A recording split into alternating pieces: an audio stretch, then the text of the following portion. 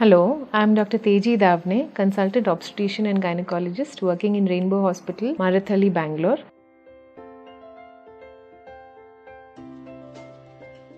When somebody comes to us with missed periods, there are the first and foremost possibility that we would like to rule out is pregnancy.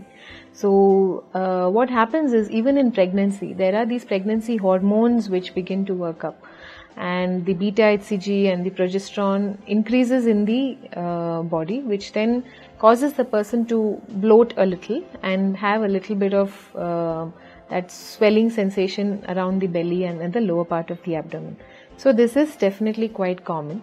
Uh, if you are not pregnant, then what happens is um, uh, the missed period is causing accumulation of more and more uh, female hormones in the body, which cause your regular periods. Uh, this would also cause a little bit of uh, swelling of the belly and the lower abdominal area.